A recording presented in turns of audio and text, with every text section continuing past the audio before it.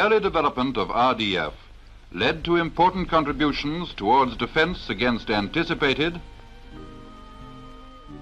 and actual enemy air attack.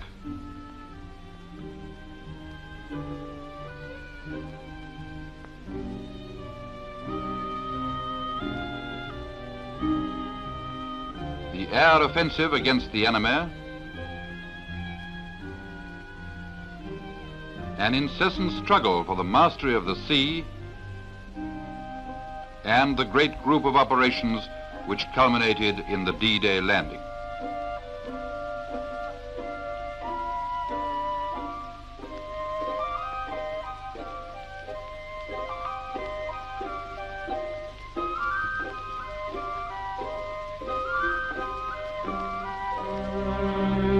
The darkening skies of the mid-1930s, with Germany openly rearming, led to great concern as to the state of our air defenses against superior, possibly overwhelming German air forces.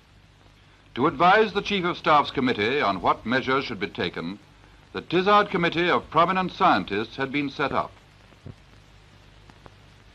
At that time, only visual methods of detecting enemy aircraft were known, in addition to some acoustic devices involving large concrete reflectors with a maximum range of about 20 miles and considerably shorter ranges in usual practice.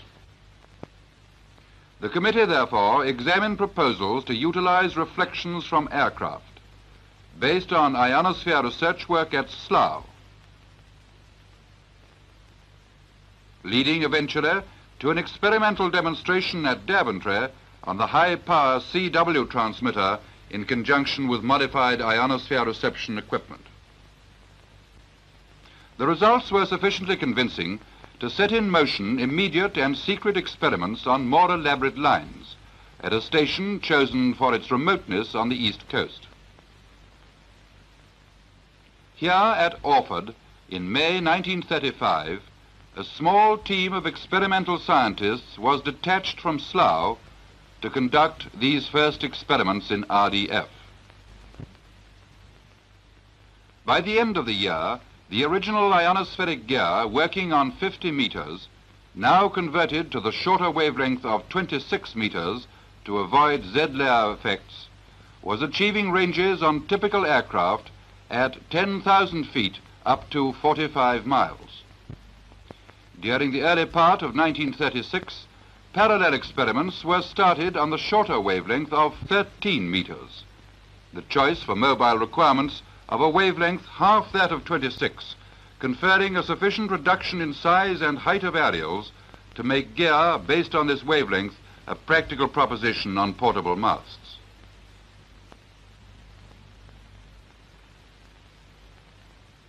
By early 1937, the mobile equipment now transferred to Bawdsey where the major 26-meter experiments had preceded it a year previously, had solved the problems of range, sense, DF, and height. And in March of that year, the first radar three-dimensional fix was achieved. During the summer, the experiments were transferred to Dunkirk for field trials. Radiated illumination from the transmitter was all round.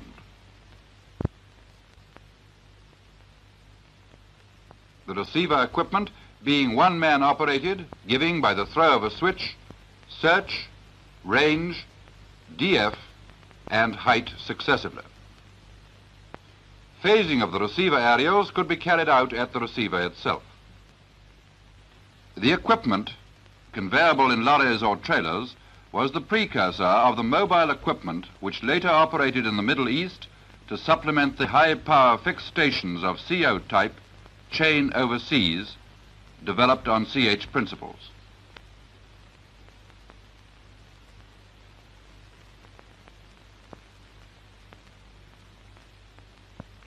CH Chain Home was the name by which the major experiments at Bawdsey on 26 meters had become known.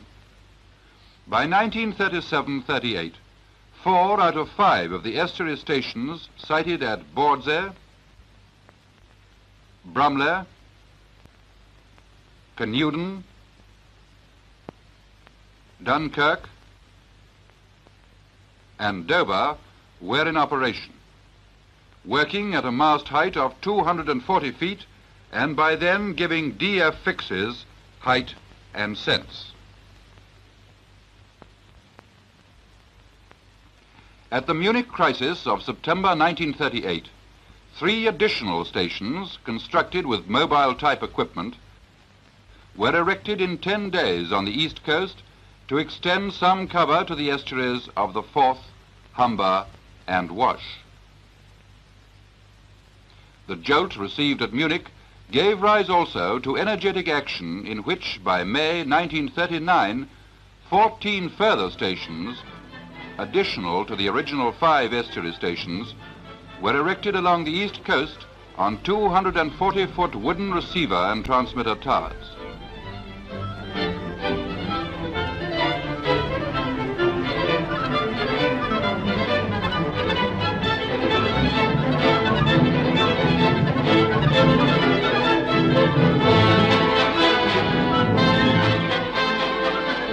By this means, substantially continuous cover was given along the east coast, and the stations were put into immediate operation to guard against an undeclared attack from Germany. To make this possible, some of the technical staff from Bawdsey Research Station concerned themselves wholly with the installation problems involved, working in conjunction with staff from Number 2 Installation Unit Kidbrooke and in the maintenance of these stations on the air, continuing right through the declaration of war until relieved by the formation of 60 Group in February 1940.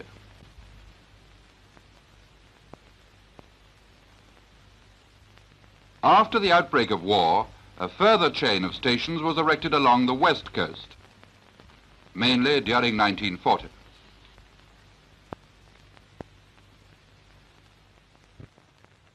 The incidents of war coincided with the realization that the CH stations, owing to long wavelength siting difficulties, were unable to cope with the early detection of low-flying aircraft. To meet this menace, the so-called CD, Coastal Defense type of station, developed at Bawdsey during the previous 18 months, using for the first time rotating aerials, was adapted in a few weeks to produce some five CDU, Coast Defence U-boat stations, to guard Scapa Flow at the extreme north of Scotland, the Orkneys and Shetlands. Subsequently, CD was modified to equip CHL stations, chain home low flying, with which both coasts of the British Isles were within the next year equipped to a large extent.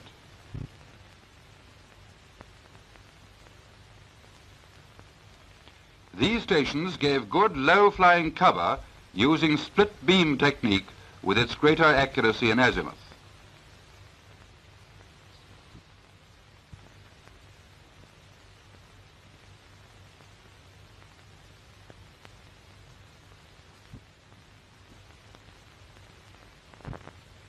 At an early stage at Bawdsey, the necessity for the development of some equipment whereby friendly and hostile aircraft could be distinguished was apparent. In the IFF identification friend or foe system, the transmitted pulse was received by the IFF equipment carried in friendly aircraft, which re-radiated an amplified and coded signal which could be distinguished by the ground station receivers.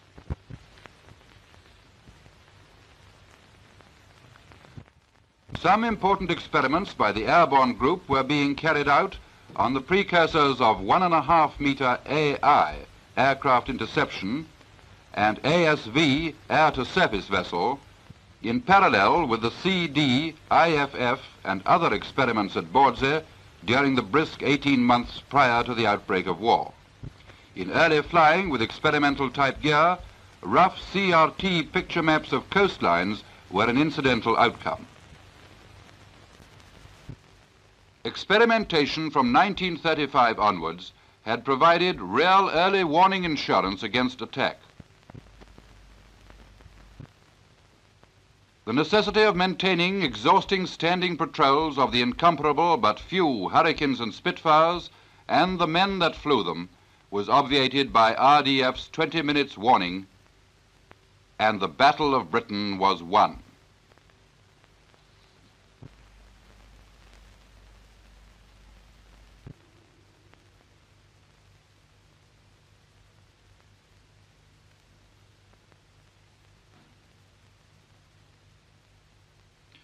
But although the day battle in the air was won, RDF had an ever-increasing part to play in the air war. Bawdsey Research Station, transferred at the outbreak of war to a temporary home in Dundee, and later as TRE to more permanent quarters at Swanage, now devoted a great part of its research program to problems created by the new phase, the night battle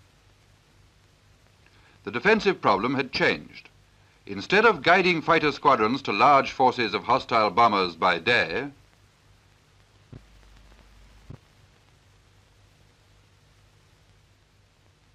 it was now necessary to guide a single fighter to a single enemy aircraft by night.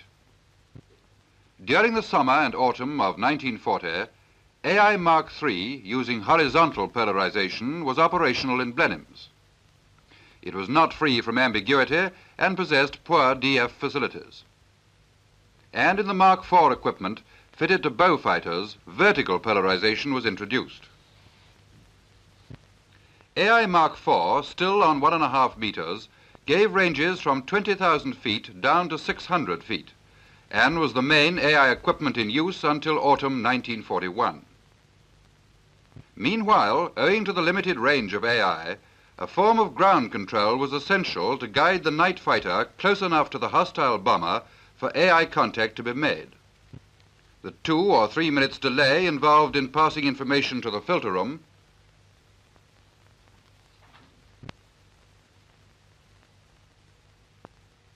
could be eliminated by controlling the fighter direct from the ground RDF station.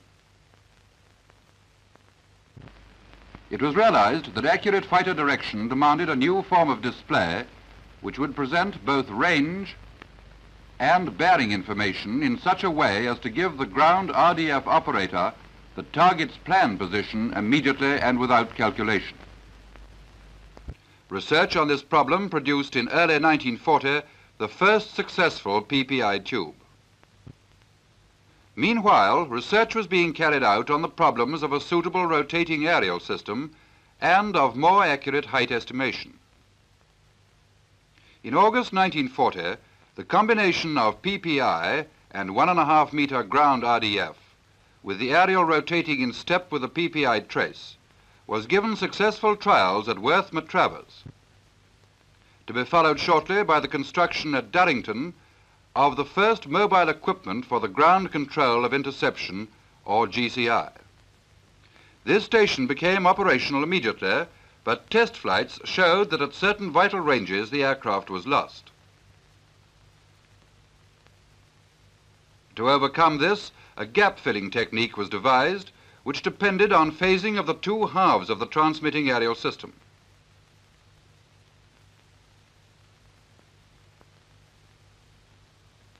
A similar technique led to improved accuracy in height finding, and the success of GCI was now sufficiently assured for six stations to be erected by the beginning of 1941.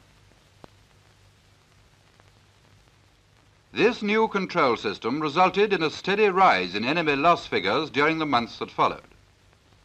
Later, fixed GCIs on one and a half meters were built, incorporating many improvements such as the skiatron and finally, it was possible for three controllers to work from the same station or Happidrome, each handling a separate interception, for which, as in many other ground equipments, the heavy engineering requirements were covered by RAE. It was known that the enemy was preparing to jam on one and a half meters.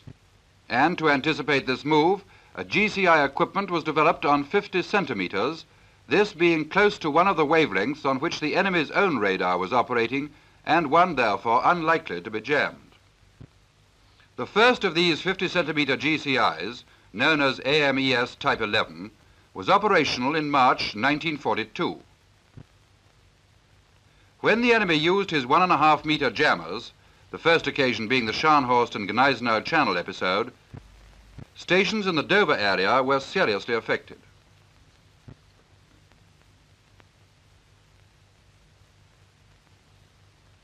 The advantages which would follow on the use of shorter wavelengths had been recognized since the first days of RDF. But the limitations of the earlier RDF equipments on wavelengths of one and a half meters or more had to be faced during the early years of the war, since no practical technique for much shorter wavelengths was then available. These limitations on one and a half meters presented increasing drawbacks as the war progressed drawbacks mainly due to the floodlighting inevitable on these wavelengths with aerial systems of reasonable size. Thus, one and a half meter AI Mark IV experienced ground returns which filled the CRT and severely curtailed the maximum range, making it impossible to detect a target at a range greater than the AI aircraft's height above ground. So AI Mark IV could not be used at all at very low altitudes. Moreover, the DF was comparatively poor.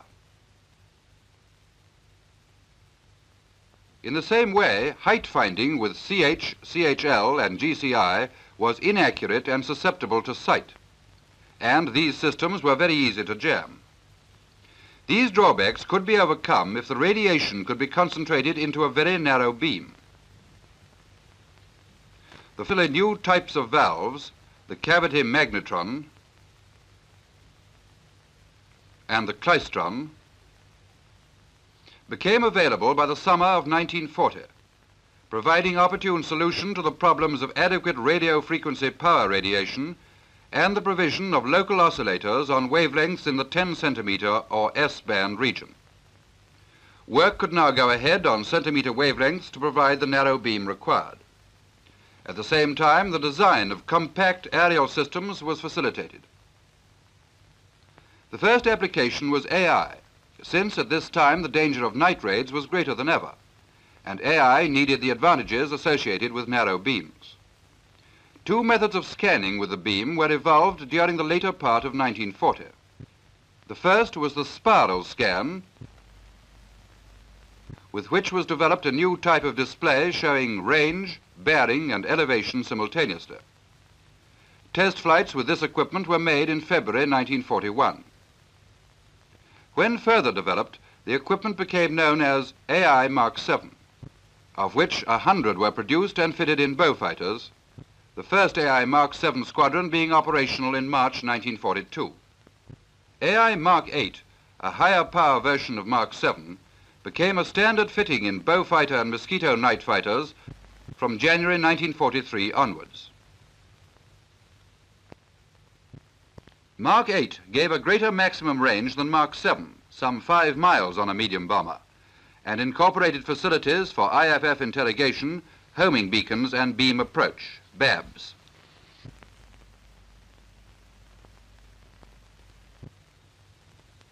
The new techniques associated with centimeter radar equipment necessitated changes in operational methods.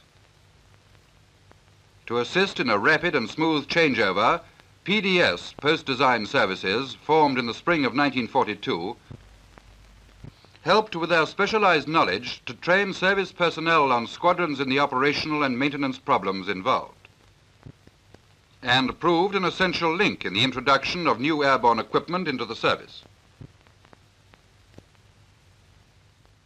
Another type of scan was helical. working with two tubes, one giving range azimuth, the other elevation azimuth display. Further developed by the Americans, the equipment became known as SCR 720. Its readoption by this country belongs to a later phase of the war, that of the Allied air offensive.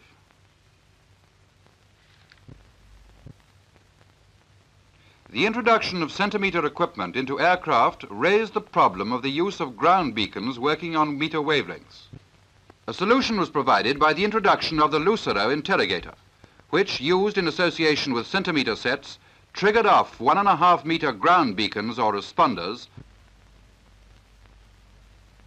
and enabled the centimeter aircraft installation to receive and display the responder pulses.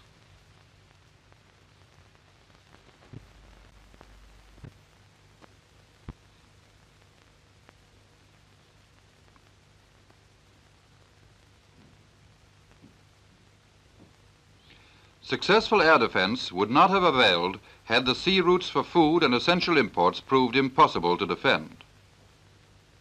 Early Bawdsey experiments on airborne one and a half meter RDF had shown that returns could be obtained from ships, and shortly after the outbreak of war, ASV Mark I was fitted to Coastal Command Hudson's and Sunderland's. Homing beacons were set up, and the ASV equipment was used for homing on return from patrols range limitations restricting the equipment's use on hostile ships and submarines.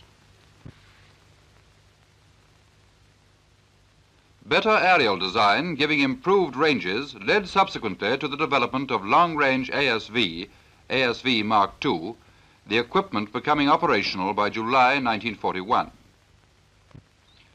Used until early 1942, mainly for locating convoys during escort duty, ASV Mark II, with gradual improvement in ranges, registered increasing successes in night attacks on shipping. Some success was also achieved against submarines in the Bay of Biscay with the aid of moonlight or flares.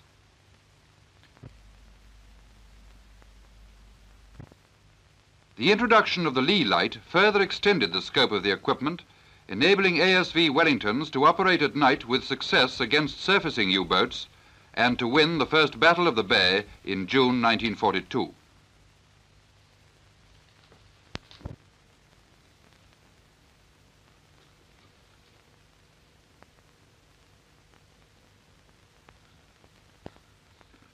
As early as 1939, the desirability had been foreseen of a radar navigational aid in locating targets when we should pass to an air offensive over the continent.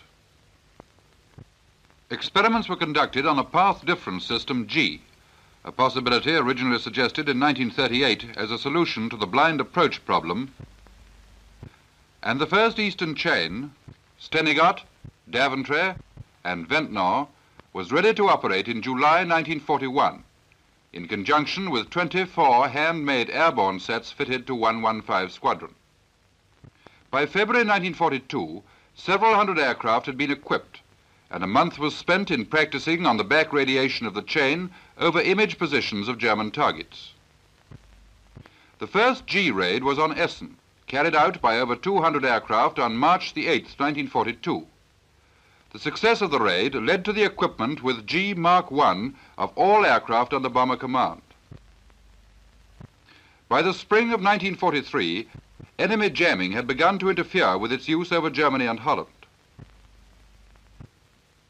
Gee Mark II, with frequency flexibility, was, however, now in service, and on special occasions, such as the Möhne Dam raid, the chain stations came up on an additional frequency as the bombers were approaching their target.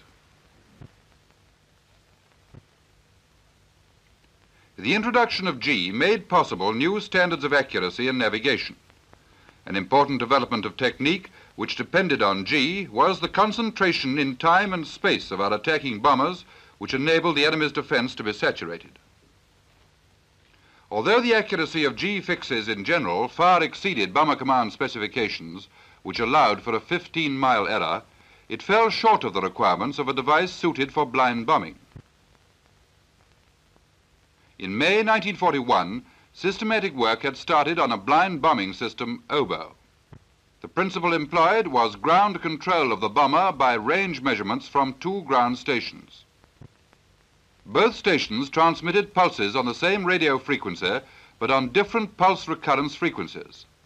The bomber carrying a pulse repeater to ensure adequate signal strength. One station, the CAT, guided the bomber onto and round a constant range track passing directly over the target.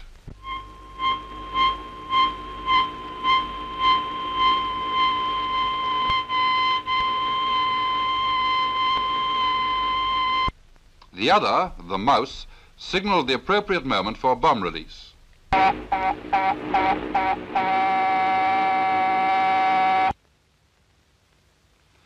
Six oboe-equipped aircraft took part for the first time in the operation on the 20th of December 1942 against Krupp's Works Essen.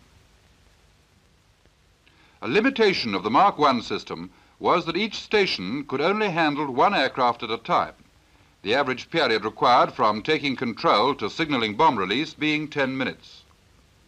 The limitation was counteracted by the Pathfinder technique associated with the development of target indicator bombs, which enabled a few Pathfinders to illuminate the target for a large number of heavy bombers, a technique first used on the 5th of March 1943. This opened the Battle of the Ruhr, when target indicators were dropped by the Pathfinder force on Essen with 400 heavy bombers following up. So began bombing in 10 tenths cloud, a possibility utterly unforeseen by the German High Command. The assumption that one and a half meter oboe would be rendered operationally useless by jamming before a later type could be brought into service led to the provision of an alternative blind bombing method, the H system. The H system depended on the measurement of range from two ground stations which were triggered off by transmissions from the aircraft. The fixes, as in oboe, were thus given by the intersection of circles, and not as in Gee by the intersection of hyperbolae, and the standard of accuracy required for blind bombing could be attained. The system was suggested in 1940 as an alternative to Gee, but was not at that time adopted owing to the limited number of aircraft directable at one time and the possibility of the enemy homing onto our own aircraft's transmissions. In June 1942, the call for an alternative to oboe led to intensive work on the H system. By modifying the existing Gee equipment, Gee-H was produced. Gee-H, used for mine-laying operations, came into full operational use on D-Day. The limitation in range of oboe, Gee-H, and Gee, imposed by their dependence on ground stations, restricted the navigational and blind bombing cover of long-range bombers to western Germany, from which war industries were already withdrawing. Whilst from considerations of fuel supply, the bombers were capable of far greater cover. The operational value of a self-contained equipment independent of ground stations and dependent only on the radar recognition of local topography had been long foreseen by radar scientists. Serious work on this problem had been shelved until the rapid development of centimeter technique in 1941. Tests were now carried out using the helical AI scan in a Blenheim with a beam tilted downwards and responses of isolated targets were discernible on the range azimuth display. This immediate success initiated the program of research and development which resulted in H2S, the bulk of this program being carried out at TRE's new home at Malvern. The beam, broad in elevation and narrow in azimuth, rotated at 60 revolutions a minute in step with the trace on the normal PPI display, and gave a picture in which land showed up against water and towns or isolated structures against countryside. H2S was in operation by the end of 1942, and by October 1943, one-sixth of Bomber Command's total sorties carried H2S, operating at the limit of their flying ranges. The development of 3 centimeter X-band technique later made possible PPI pictures of greater definition essential to the bombing of Berlin. Meanwhile, the development of oboe on centimeter wavelengths had continued for use on special targets where the highest precision bombing was required, and in the spring of 1944, a mobile centimeter equipment, Mark 2M, was brought into service.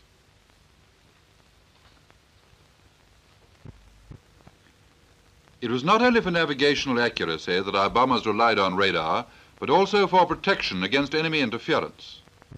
Bomber defense at first envisaged the protection of the individual bomber by means of various warning devices.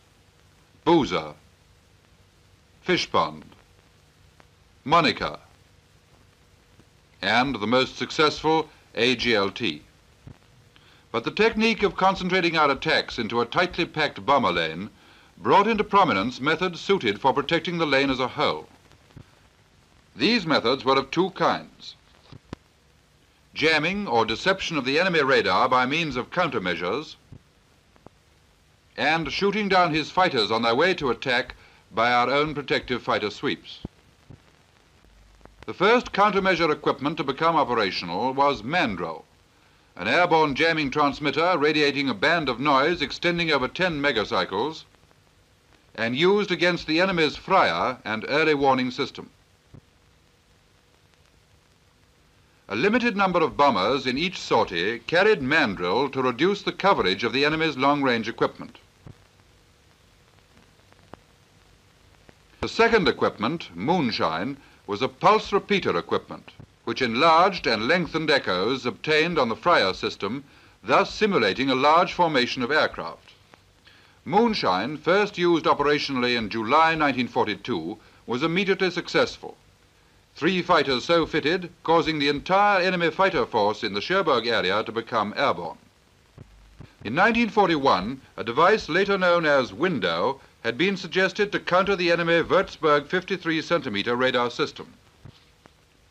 This device relied on the release by aircraft of strips of metallized paper foil which produced resonant reflections highly confusing to the enemy's ground radar traces. Its operational employment was postponed as it was foreseen that once used it would soon be imitated. But development continued and in July 1943, Window was successfully employed in a heavy raid on Hamburg. Thereafter, Window became a normal accompaniment of every major raid. During the winter of 1944, a third of Bomber Command aircraft were equipped with Carpet 2, a barrage jammer which explored a frequency band of about 40 megacycles until reception of a signal, to which it locked automatically and then radiated for a predetermined time one watt of noise spreading over a bandwidth of one megacycle about the signal frequency. Serrate, a directional listening apparatus which considerably increased the range of initial AI contacts, was carried by fighters to enable them to home onto the AI transmissions of enemy fighters. It was used in conjunction with normal AI in defense of our bomber sorties and was first put into operation by Fighter Command in the autumn of 1943. It had been anticipated that AI Mark 8 would be difficult to operate in high concentrations of window. The helical scan American SCR 720 was therefore modified to RAF requirements and adopted as AI Mark 10, replacing all AI Mark 8 sets. In addition, the greater volume of space explored by AI Mark 10 was found of value to freelance fighters defending the bomber lane. In November 1943, Mosquitoes, the first aircraft equipped under this program, went into action.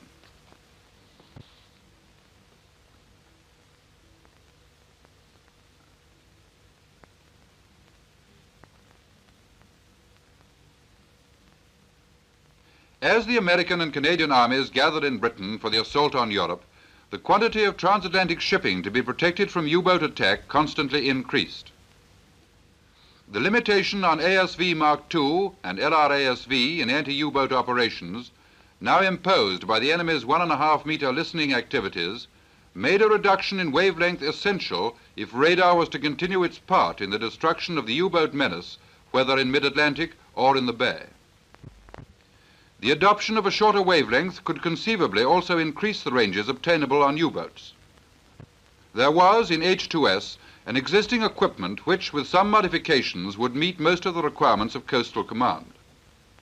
The H2S equipment was therefore adopted for development into ASV Mark III, the modifications including alteration of the scanner for low flying over the sea. ASV Mark III, first fitted in March 1943 to Leigh Light Wellingtons, was supplemented by its American counterparts Marks IV and V. These centimeter ASVs scored considerable successes in June against U-boats and won the second battle of the Bay. Later, an improved version of ASV Mark III was developed, known as Mark VI. This was a higher power set, and the Mark 6A version was fitted with automatic following facilities in azimuth and means for coupling the movements of the radar beam with the Leigh light. Work had started in 1942 on X-band, 3 centimeters, a primary application being ASVX for the Fleet Air Arm, for whose aircraft the smaller equipment was particularly appropriate.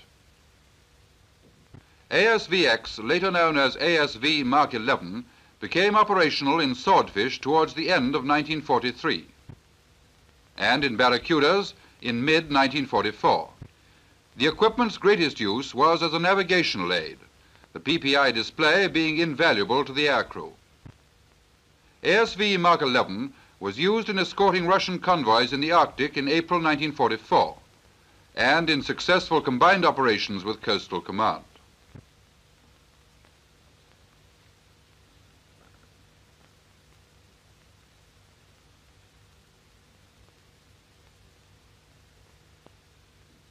By winning the day battle of Britain in 1940, survival to fight and win the night battles of the Blitz in 1940-41 had been secured. This further victory making possible the Allied air offensive in 1942-43. But this offensive, though it accomplished havoc among the enemy's war industries, was not an end in itself, but a means to the invasion of Europe on June the 6th, 1944. For over two years previously, all radar research effort in the laboratories had been devoted towards this end. And when the time came, perhaps no single weapon was found to have a wider variety of uses than radar. Type 16 fighter direction stations on 50 centimeters had previously controlled our sweeps over France and enabled them to force back enemy aerodromes from the coast. In the English Channel from March to August 1944, Swordfish equipped with ASVX hunted down E-boats, R-boats and midget submarines. On detection, flares were dropped and Beaufighters, judging their ranges with AI Mark 8, attacked the illuminated targets with rockets.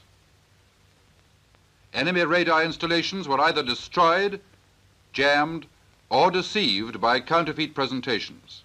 For their destruction, exact plotting on the map was necessary, aided by ping pong, a listening in device.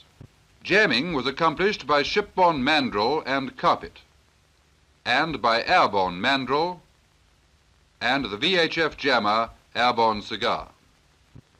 The contrivance of radar signals misleading to the enemy involved at least one completely novel maneuver. This was the dropping of window by orbiting planes to simulate shipping approaching Fécamp and Boulogne. Gee and Gee-H guided the planes taking part in these operations. Spoof signals on the enemy's CRT were reinforced by shipborne moonshine and ship-towed balloons. At the last moment, enemy gun positions were bombed and rocketed by aircraft using oboe. Window and Mandrel were used in screening the transport of airborne troops carried by aircraft using Gee. As a supplementary navigational aid, Eureka beacons were set up in England and on ships in the Channel. Supplies and reinforcements were guided to the right spot by aircraft using Rebecca Eureka. This interrogator and beacon system originally evolved in 1941 and adopted for the dropping of supplies to partisans in occupied Europe had been employed also in the Sicilian and Salerno landings. The ships sweeping channels through the minefields were guided by Gee, and 2,000 vessels were fitted with Gee to ensure accurate navigation of these channels. Early warning and GCI Type 21 ground stations were transported on D-Day together with some Type 11 and Type 15 installations for immediate follow-up on the continent. With the continental base secured, Further grim fighting led the Allied armies to the Seine, the Maas,